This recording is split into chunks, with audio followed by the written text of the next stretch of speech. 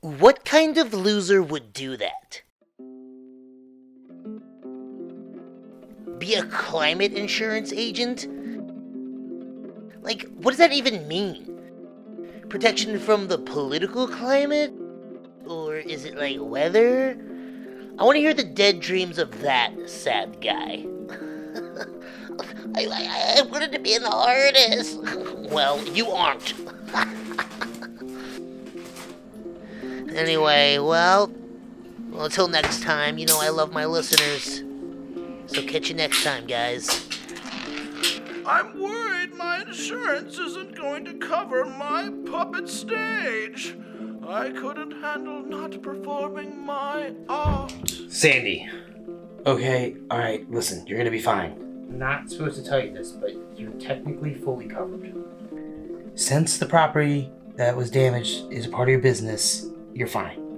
Just as long as you provide proof that there was property damage. Thank you, thank you, thank Okay. you, young man. Yes, no, it's great. I know. Thank it's you. wonderful. It yes. means Okay. a lot. Alright, see you later. Bobbio. Heard you in there talking to some old broad with some puppets. Now you're just out here watching time tick away, huh? Just like that coffee. You know, I got my eighth executive account. I'm making money now. Making money. Yeah, I don't know if I can. What? Nothing. Hey, Big Bad Chad. Timber!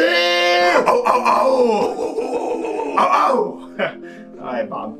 Uh, when you get a chance, I need to see you in my office in the Doge. you know, Yeah, yeah, I can come by. just uh, don't worry about it. Little couple things, but you know, come back to me after you're done with your break. Bye, Chad. Yeah, catch you later, Tear Bear. See you at the lake. Oh, oh, oh, oh.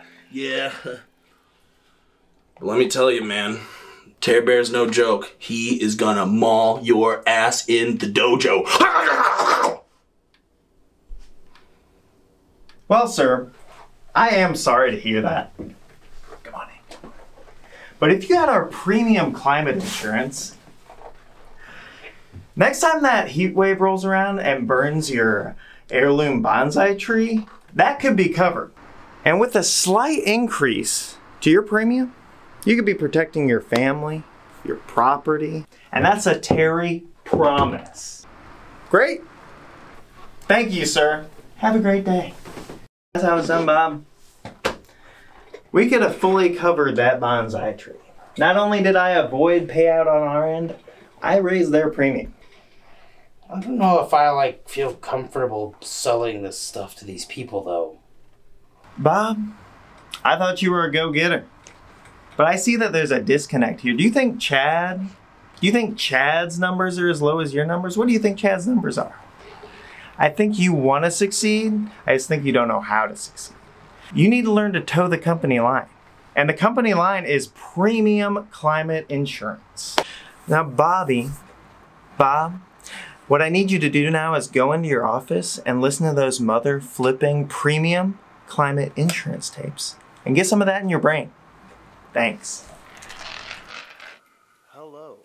Welcome to Premium Climate Insurance Sales Assistance. Tape 1, Side A.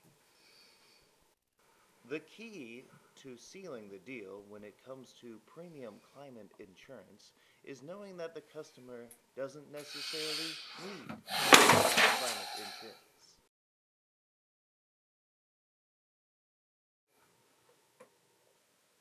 What you listening to?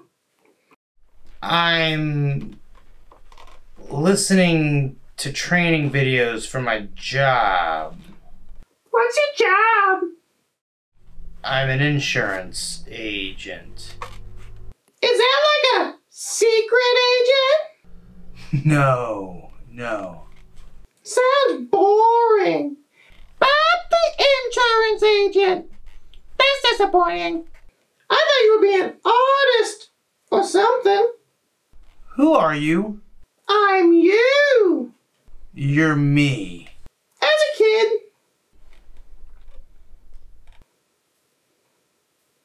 But you're a puppet. you're a puppet. You just don't have any strings. Have you happened to see any marbles around here? Marbles? My marbles. I lost them. I think they're this way. Bobby! Where are you going? Bobby!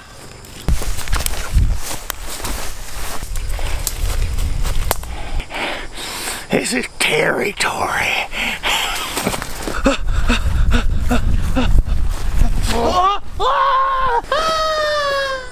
You're mine forever now, Bob.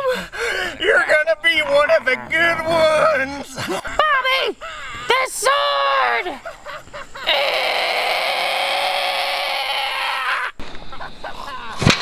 You're mine, Bobby. There's nobody coming to save you, Bob. Oh, oh you're mine now.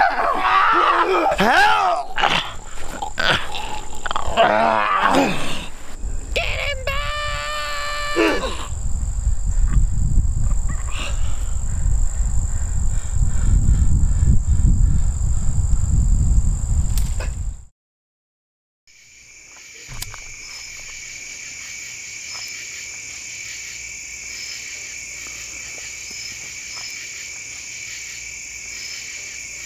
Premium climate insurance. How to assure your customer it is not a joke. Uh, I'm still listening to this, right? Yeah, you can alarm. Uh, climate insurance isn't for everyone, but the value customer knows. Pay no mind to the faceless voices.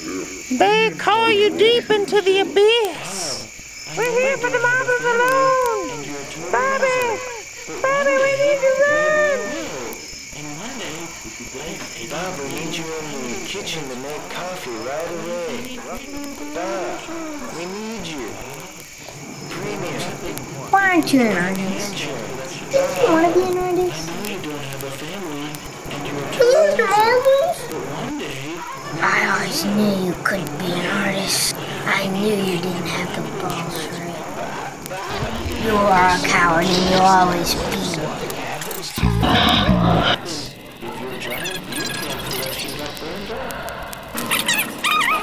This is your mother. I always told you you couldn't hold down a job longer than three years, and here you are again trying to quit.